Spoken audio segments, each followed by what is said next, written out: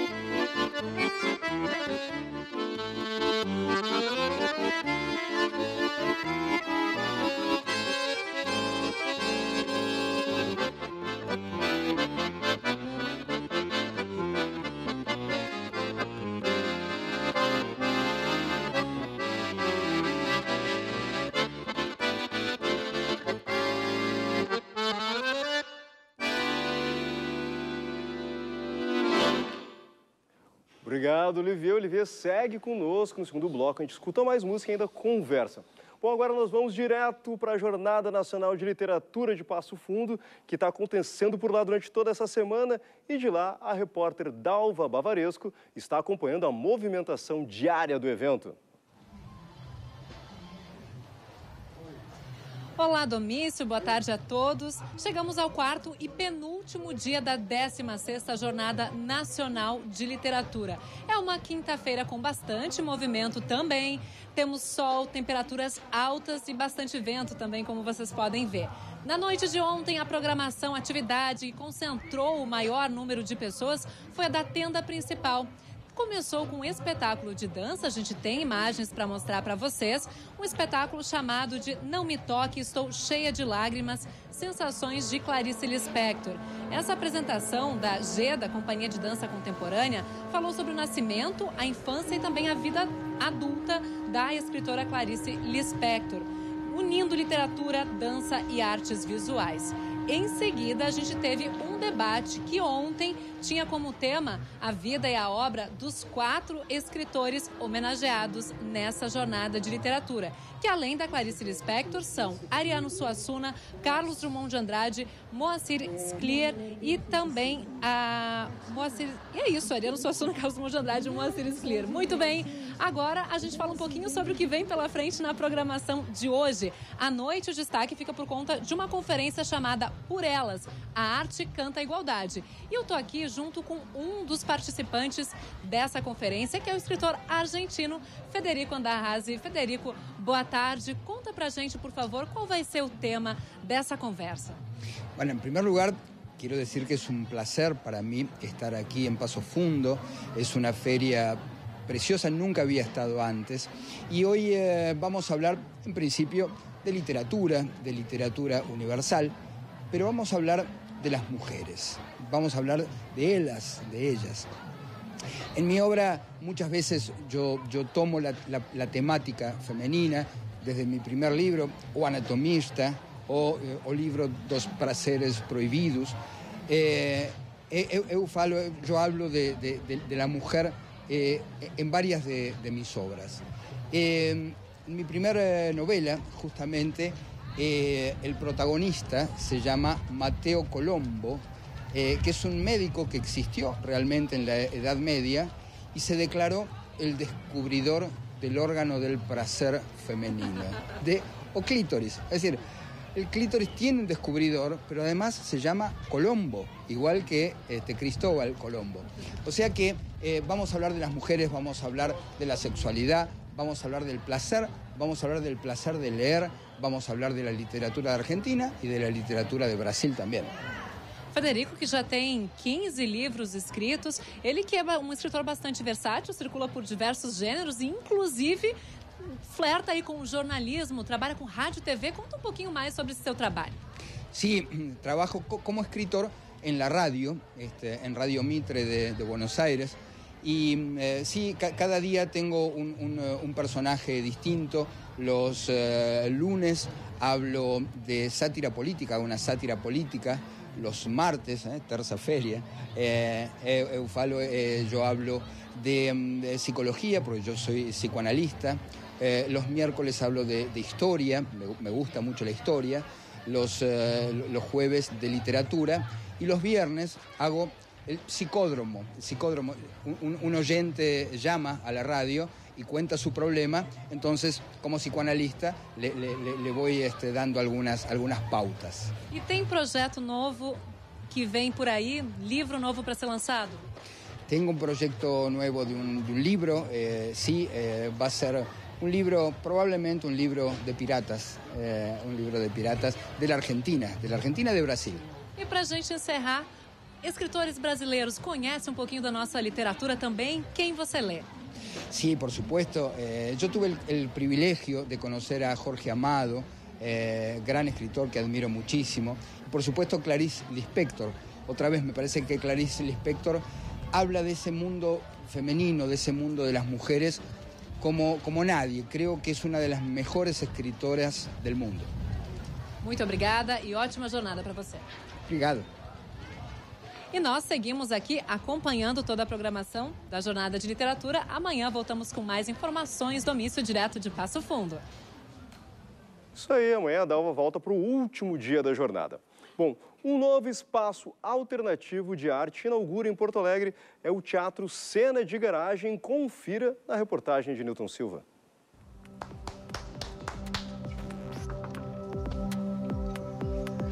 Oi! Aí, aqui que é o Cena de Garagem. Sim. que legal. E aí? E aí?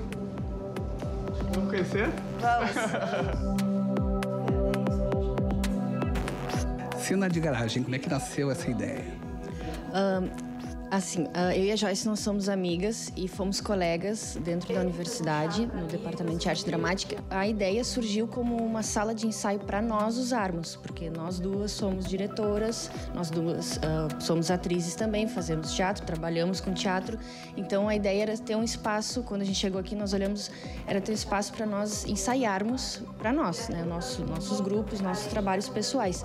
Só que à medida que a ideia foi se desenvolvendo e a gente foi começando a contar para as pessoas né, do espaço, o que estava acontecendo, convidando os amigos para vir, a gente começou a ver que o espaço podia ser mais do que uma sala de ensaio para nós, que na verdade ele podia ser um lugar que né, ele poderia abrigar o sonho de outras pessoas e a gente trazer outros artistas, amigos, colegas para também dividir esse espaço com a gente. Abertura do Cena de Garagem contou com esquetes e shows de diversos artistas que participaram espontaneamente.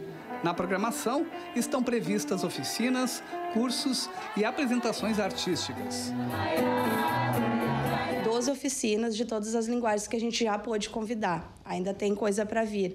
Tem oficina de cinema para criança, de teatro, de dança, de escrita criativa, de dramaturgia, de artes visuais, pintura e desenho.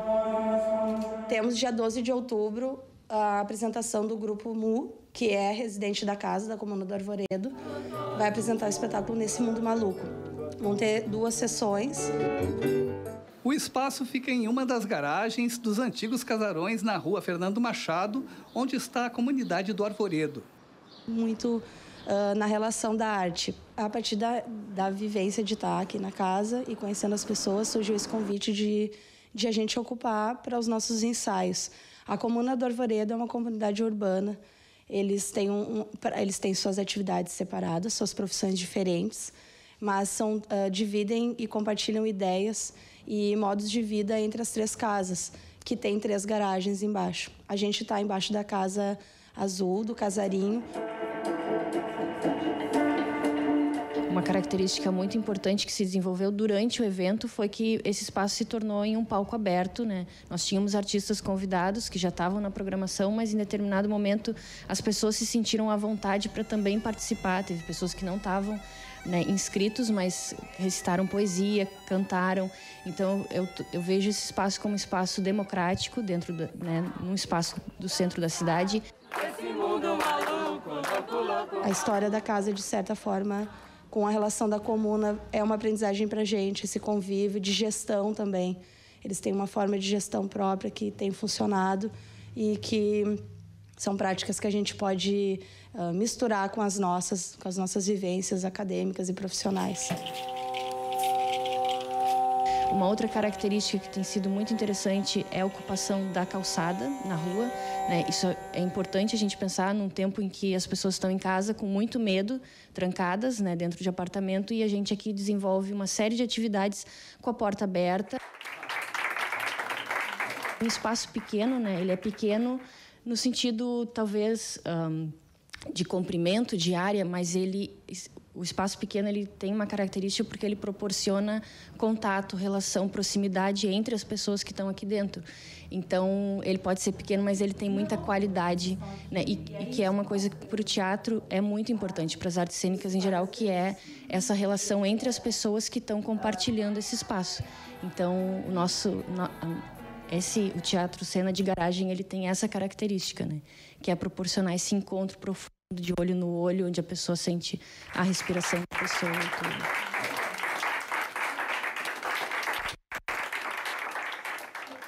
Bom, agora nós vamos a um breve intervalo e já voltamos com mais informações culturais e a música do Olivier von Help para você. Já voltamos.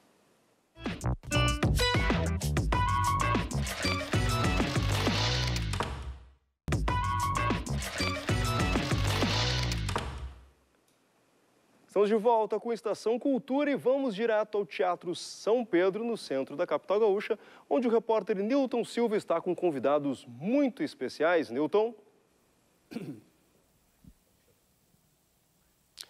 Bem, eu converso agora com a Nausete e o Zé Miguel Wisnik. Ele se apresentou hoje à noite aqui no Teatro São Pedro, num formato piano e voz. E, Zé, quando é que nasceu essa parceria? Bom, a, desde que a gente começou a gravar e a Ana fazendo seu primeiro, o primeiro disco dela e eu meu primeiro disco, a gente participou um no disco do outro. A Ana gravou várias músicas minhas, fizemos shows juntos. E durante muito tempo essa parceria se estendeu. Só recentemente que a gente gravou um disco inteiro nosso, que é o Naizé. Que é esse aqui, né? Isso. E aí contando músicas tanto dessas desde o começo assim da nossa história assim musical e mas também músicas recentes e soma músicas desse tempo todo de história, né? Na, como é que são as canções do Zé? São perfeitas. é, que dizer? ah, bom, são, eu acho perfeitas. Não que eu acho, elas são perfeitas no sentido de casamento, né, de melodia com, a, com as letras. As letras são incríveis. Mesmo, ele também tem outros parceiros, né, letristas ou, ou músicos. E mas o que eu acho assim é, importante é que como diz o Marcinho Arantes, que é o produtor do disco, né, o Zé Miguel não dá ponto sem nó. Então, tudo ali tem um sentido, tudo, tudo tem um... Uh, as músicas não são assim, né, feitas aleatoriamente, assim. São, obviamente, são inspiradíssimas, né? São, são melodias muito inspiradas e a, com, com as suas harmonias, tudo mais mas é, tudo tem, tem um porquê ali, não, nada está ali por acaso. Na verdade, a Ana, ela tem a capacidade de, de perceber, que de, de incorporar, de deixar isso tudo cristalino, né? E as, essas canções, elas, elas caem muito bem na interpretação, na voz e no jeito de ser da, da Ná cantando. Então, eu eh, sinto uma, uma afinidade muito grande, na verdade, essa história de uma afinidade musical, né? Zé, o show aqui no Teatro São Pedro marca também o lançamento do LP, né? Na Zé, eh, nesse formato vinil, que é um formato quase que para colecionador, mas também está se usando muito hoje. Pois é, isso tem um interesse né, crescente. Eu sou do tempo em que a gente ouvia LP e tal. Depois veio o CD, a grande novidade. Disseram, não, acabou o LP, não existe mais, isso é uma coisa que ficou para trás. Aí, para minha surpresa, hoje em dia, eu vou procurar CD, não acho, e LPs aí ganham uma uma importância. Então a, a vida vai, a vida leva e traz, traz a vida faz e, refaz, né? Como diz uma canção, né? Porque é o que acontece com o CD e LP e também com essa outra forma que é pessoas ouvirem diretamente canções, né? Nem os discos, mas ouvirem elas pulverizadas, né? Então tudo para isso para mim eu ainda prefiro, eu gosto do conjunto, né? Um CD assim com com todas as músicas ali ou o LP com aquele encarte e tal, um conjunto, né? Sou... Bom, na hoje o formato do show aqui piano e voz. Isso. É... Bom, é um formato que a gente tem feito recentemente e tem sido maravilhoso. Assim, a gente para nós, né, e para o público, assim, porque ah, ali assim a gente a gente mostra a, a, estrutura das canções, né? Como as canções foram realmente pensadas e compostas. O Zé Miguel pode falar melhor do que eu sobre isso, né? Bom, mas quem quiser assistir, então, né? Hoje à noite, aqui, 9 horas da noite, no Teatro São Pedro, o show de Ná e Zé. É com vocês aí no estúdio. Muito obrigado pela participação Muito aqui. Obrigado. Nós Até lá. Agradecemos. Muito bem, Newton. E nesse domingo, o acordeonista Olivier Forrel faz show de lançamento do disco Bueno Suicides no Café Fonfon às 8 da noite. Tudo bem, Olivier, mais uma vez? Tudo bem, Domingos. Bem-vindo a Porto Alegre. Obrigado e desculpa por me portunhol. Bom, mas o teu portunhol está super bem compreensível aqui para nós, principalmente porque tu tem uma relação com o Brasil há um bom tempo já, né? Tem passado pelo Brasil várias sim, vezes. Adoro né? essa capital gaúcha, sim, sim. e o teu contato com o Brasil começou pelo, aqui por Porto Alegre, né? Sim, iniciou há faz como 15 anos agora, o primeiro Fórum Social Mundial, 2001. E iniciei o ano seguinte com Felipe Azevedo de aqui, eh, um disco eh, autoral em duo que se chama I- Identidades. E fizemos turnê acá e na Suíça e, bom, há 15 anos que... se- 16 anos que conosco essa capital gaúcha maravilhosa. Bom, e agora um disco traz referência a algo próximo de nós também aqui, que culturalmente, até geograficamente falando, que é Buenos Aires. E como é que é esse disco que mistura as tuas relações, as tuas vivências, as tuas andanças pelo mundo com estar fazendo em Buenos Aires e a musicalidade de Buenos Aires? Ahm, bom, eu sou um viajante, viajo muito e tive a oportunidade de, de ficar seis meses em, em Buenos Aires ah, através de um programa do governo suíço e bueno fiz esse disco como trabalho de, de, de hum, trabalho cultural e agora estou bem feliz de apresentá-lo acá no, no Brasil. E começa por Porto Alegre e ele segue, segue viajando pelo Brasil mostrando esse disco, né? Isso mesmo, sim.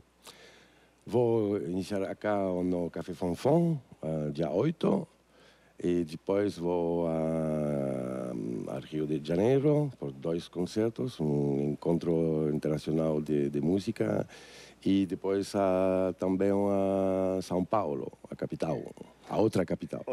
E o show desse, desse domingo? Tu apresenta as músicas do disco e outros trabalhos teus. Eu estou com o Ava- em Avante aqui também, para mostrar. Como é que vai ser o, o repertório da apresentação?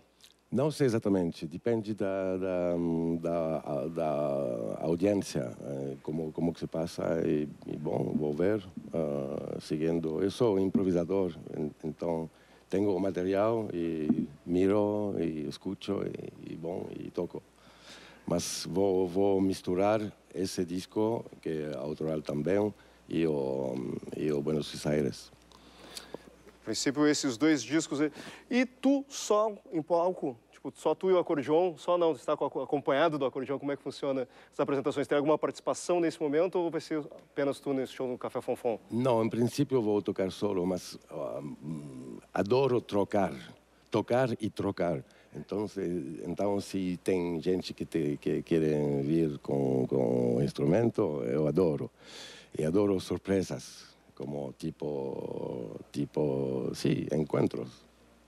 Sempre, essa troca é fundamental, principalmente para quem viaja bastante como tu, né? Essa troca, as relações com o músico de cada lugar onde tu passa, desses países, tu passa, acrescenta para tua musicalidade também, né? Sim, para mim tá, tá, tá, a essência da, da música tá, tá o compartilhar, compartilhar eh, músicas com outras culturas. E, há gente que, que dizem que você tem como impressão de Europa de, de leste ou de África ou de, de Sul-América. Eu, eu não, não sei, eu toco e, e escuto muito e, e me entra. E por isso com- compor. Vai acrescentando camadas para a tua própria musicalidade, né? Bom, então, o show do Olivier acontece nesse domingo, a partir das 8 horas da noite, lá no Café Fonfon, que fica ali na Vieira de Castro, número 22. Olivier, queria agradecer a tua presença aqui. Muito certo? obrigado, Domício. Sim. Muito obrigado. E bom, e com a tua música, a gente encerra essa edição de quinta-feira do Estação Cultura. A gente volta amanhã, sexta-feira, com mais, fe- ah, mais feira literária, com mais jornada literária de Passo Fundo e mais uma série de informações do mundo da cultura aqui do Rio Grande do Sul. Olivier, por favor, mais uma música para nós aí. Então, um tango, porque tá a música do, da Argentina. Thank you.